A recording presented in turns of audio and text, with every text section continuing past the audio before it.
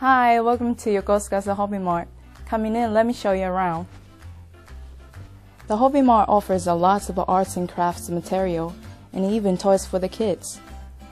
Here at the Hobby Mart, we even offer self-help music and Japanese textbook. From a variety of paints and glitter to yarn and accessories, we have it. So if you like hobbies and crafts, come visit us located in the community center across from the base commissary.